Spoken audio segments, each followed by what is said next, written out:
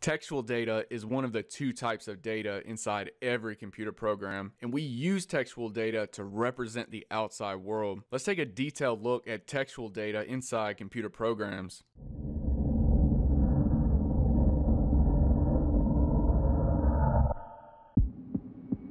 Before we begin, let's look at how we will break things down. We'll start by literally breaking things down, examining text letter by letter. To do this, we'll look at characters and strings. Characters and strings are two fundamental concepts that will prepare us to use textual data inside our computer programs. When we write computer programs or just use computers in general, we see text on our screens. From a data perspective, it's important to understand the difference between the text we see on our screens and how the data is actually represented underneath the hood by the computer. After we explore these ideas, you'll be ready to use textual data inside computer programs, and you'll know the difference between the text we see on the screen and the data the computer sees under the hood. Let's kick things off by breaking down a piece of textual data. Let's consider the text Deep Lizard. The text Deep Lizard has 10 letters, and each of these letters is known as a character in the realm of programming. Instead of using the word letter, we say that each symbol is a character. And when it comes to characters, we expand beyond just letters to include other symbols as well. We include alphabets, numerical digits, punctuation symbols, and mathematical symbols. All of these qualify as characters and are used to create textual data. Think about all the characters on your keyboard, and this just gets us started. There are many other symbols that qualify. A character is the smallest textual unit we'll work with as programmers. We use characters to build larger pieces of data, and we call these larger pieces of data strings. An example of a string is the textual data Deep Lizard. The text Deep Lizard is built using 10 characters. We string these characters together to create the sequence of characters Deep Lizard. And for this reason, we say that the text Deep Lizard is a string of characters. When we speak about strings with characters, we usually just drop the of characters part and we just say that the text deep lizard is a string. So a string is a sequence of characters and is used to represent textual data inside computer programs. Stick with me and let me show you a couple of things you need to know about strings. The first and most important thing about strings is that we have access to each character within the string. Having access to each character means that we can reference each character. This is done by numbering each character starting at zero and counting up as we move to the right. This numbering process is called indexing, and for this reason, each character in the string is said to be indexed. Looking at the string deep lizard, I can refer to any of these letters using the index, and you can know which letter I'm referring to. Let's give this a go. Suppose that I tell you I'm looking at the character at index 6. With this information, can you tell which letter I'm referring to? The character at index 6 is the letter Z.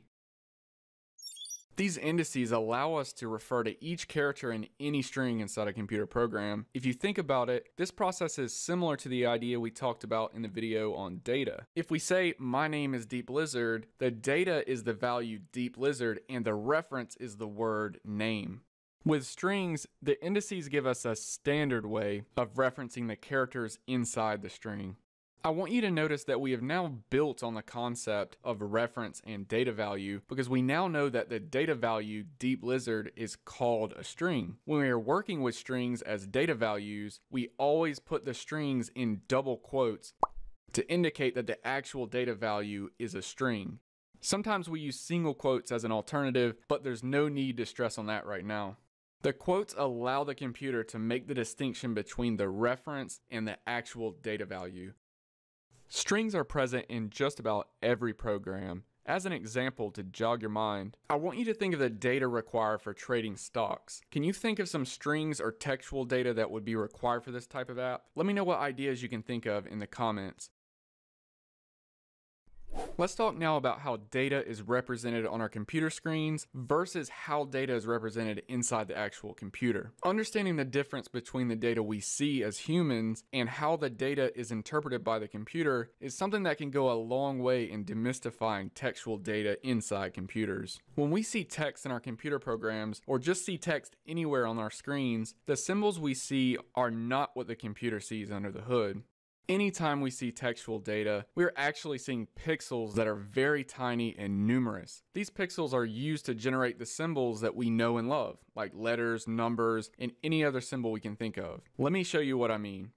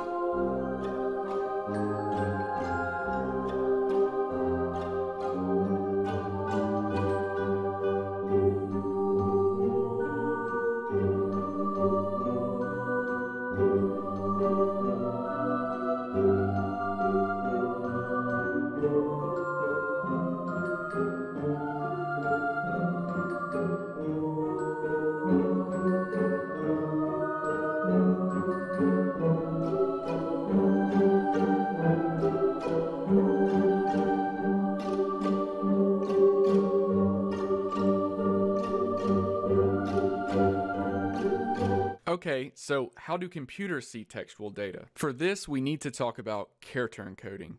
Character encoding used as a verb is the process of creating a reference for each character in some set of characters. A couple of examples you may have heard of before are Morse code and Braille. Morse code represents characters using sound or light, and Braille represents characters using a physical medium.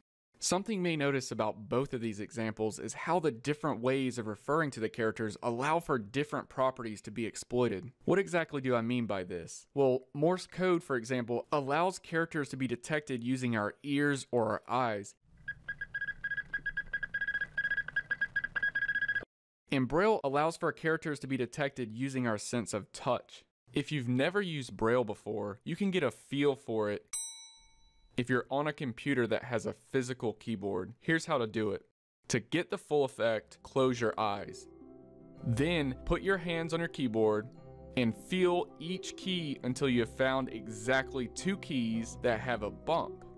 This bump is a real life example of a character encoding. These bumps typically encode the F key and the J key. This encoding allows us to position our fingers on the keys without looking. Once our fingers are in the initial position, the other keys are encoded with movements that we memorize.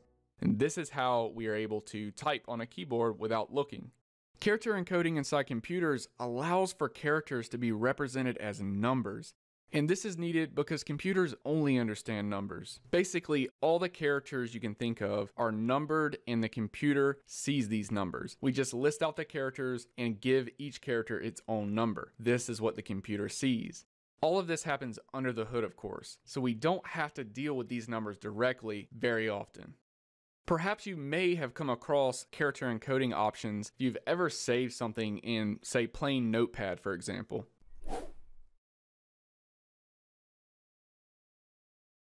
The main point here is that characters are encoded or represented using numbers under the hood. When dealing with textual data, we see sequences of characters and the computer sees sequences of numbers. Computers use pixels to draw the characters that correspond to the numbers they see. This is how computers display text to humans.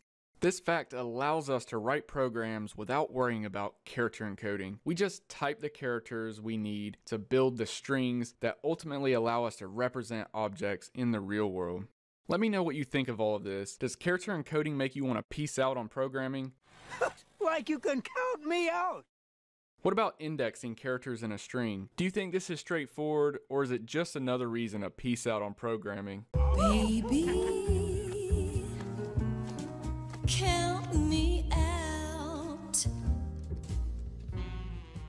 Type some text down in the comments and let me know what you think.